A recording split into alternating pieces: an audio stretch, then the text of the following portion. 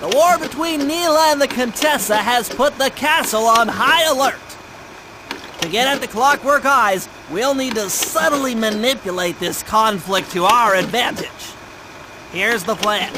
Murray, sneak into the castle and kidnap the head of security. I want to ask him a few questions.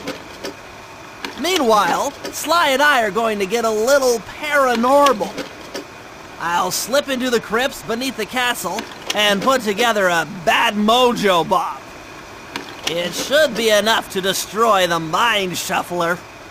Sly, you capture a few local ghosts and drop them into Neyla's headquarters. Hopefully the near-death experience will inspire her to purchase more mercenary firepower. We've all got our assignments. Good luck.